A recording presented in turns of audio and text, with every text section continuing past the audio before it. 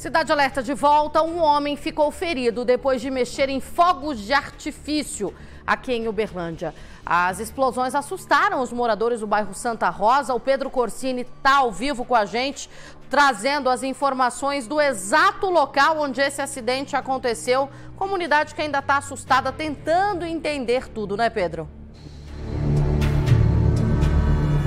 Exatamente, Luciana. Foi aqui nesse local nas margens da Avenida Olímpica, bem perto desse córrego, a gente pode até observar que do outro lado deste córregozinho que passa aqui temos muitas casas, explosões essas que assustaram os moradores e foi aqui neste local onde eu estou que, essa, que esses artefatos é, pirotécnicos foram então estourados na tarde de hoje. Aqui é um dos locais onde estava um destes fogos de artifício, né? A gente pode até observar a marca aí das cinzas dessa explosão. Então aqui a gente tem um ponto e aqui bem aos pés desta árvore nós temos também é, outro ponto de explosão. Chama a atenção que é um lugar, inclusive, bastante sujo. Parece que o pessoal descarta o lixo de forma incorreta aqui. Pode ser que tenham descartado os artefatos aqui. Este andarilho, que segundo a Polícia Militar passava no local, teria visto essas, esses foguetes aqui teria então tentado realizar é, estouros, que foi o que aconteceu. Nós vamos ouvir agora o que disse a Polícia Militar, que conta que este homem viu os objetos, acendeu, colocou a mão e acabou ferido durante a explosão destes artefatos pirotécnicos. A Polícia Militar foi acionada após ouvir um estrondo, uma explosão aqui no local, no meio da mata. É, a, depois chegamos, né, fizemos todo o isolamento local. Quando, é, para aproximação, nós contamos com o apoio do bombeiro, considerando a questão do explosivo, ele fez uma, uma molhou a mata para a gente, para a gente se aproximar com segurança. É, detectamos que realmente a, a, explosão ocorreu, como de fato é relatado por populares. No local foi per possível perceber que se trata não de explosivos da forma que a gente está acostumado a falar, uma bomba, mas sim de restos de materiais pirotécnicos. Então a gente tem ali bombinhas, restos de foguetes, então são esses materiais, não a bomba da, da forma que a gente geralmente conhece.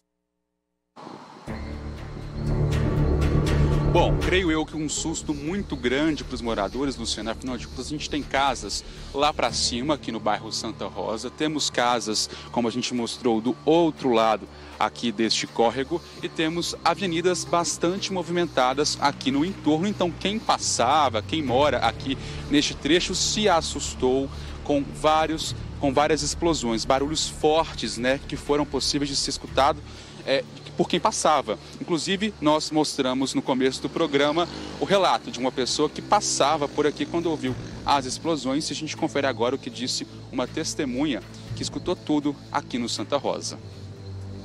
Eu disse, meu Deus do céu, o mundo está acabando. Eu disse, agora quando eu parei minha moto assim, outra explosão em seguida, três explosões seguida. Eu disse, meu Deus do céu, parei de moto para voltar, minha moto caiu, tentando levantar e as explosões saem naqueles estrelhaços assim. Eu disse, agora é minha vez, o mundo acabou. Fogo, explosões, fumaça. Do nada sai um rapaz lá, todo ensanguentado, com a cara machucada. Eu disse, meu Deus do céu. E eu tentando deix deixar minha moto ali, querendo voltar, puxar minha moto de volta, eu não conseguia. E eu tremendo. E aí eu consegui voltar. E as explosões continuaram. Três explosões. Bom, o Corpo de Bombeiros foi acionado já que tivemos uma vítima, este homem que foi encaminhado com ferimentos para o AI aqui da região e também para controlar a situação. A gente pode observar, como eu falei, que tem muito lixo, então tinha o risco sim da, desse fogo que foi é, aceso, esses explosivos, melhor dizendo, os fogos de artifício, bombinhas e afins, passarem aqui para essa área que temos plástico, temos papelão, temos caixinhas de leite, outros é, produtos também. Nesse tempo mais seco, o mato mais é, é, seco também, então pode então acabar passando as chamas para o local. O Corpo de Bombeiros foi acionado para controlar a situação e a gente confere agora como é que foi o trabalho dos bombeiros aqui no local. Nós fomos acionados é, em apoio à Polícia Militar é, com material explosivo num local e uma vítima. Imediatamente a gente deslocou com um caminhão de combate a incêndio e uma unidade de resgate. Chegando aqui, a Polícia Militar nos relatou que era material explosivo e que esse morador em situação de rua, ele fez o acionamento desses é, materiais pirotécnicos e se feriu. Os ferimentos dele é, foram queimaduras de segundo grau, primeiro e segundo grau, e alguns é, ferimentos é, perfurantes na região dorsal e, no, e nos ombros.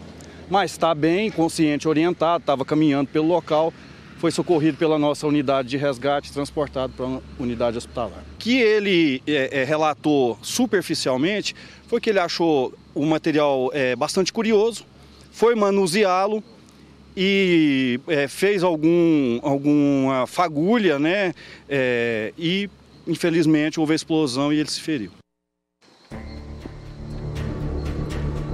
Bom, um susto grande para os moradores, os vizinhos aqui no bairro Santa Rosa e também para essa vítima que acabou ferida neste acidente aqui nesta área próxima a este córrego na Avenida Olímpica. Mas aí o um mistério para saber se realmente ele encontrou os artefatos aqui ou então trouxe, já que a gente pode observar muito lixo no local, o que chama a atenção também da vizinhança para evitar o descarte incorreto de materiais fora do lixo, né, Luciana? É com você. É, muito obrigada, viu, Pedro, pelas informações, todos os detalhes desse acidente. Como o Pedro Corsini disse na abertura do Cidade Alerta Minas, hoje foi um dia extremamente movimentado para as equipes, tanto da polícia quanto do Corpo de Bombeiros aqui em Uberlândia.